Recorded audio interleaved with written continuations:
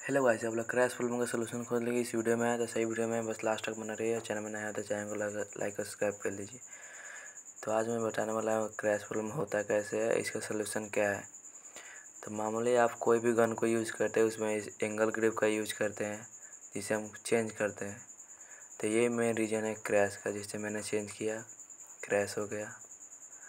फिर दूसरे वीडियो में मैंने ट्राई किया, फिर से क्रैश हो गया इसमें भी। इसी के बाद मैं तीसरा वीडियो में ट्राई किया, होता है कि नहीं, इसमें भी क्रैश हो गया।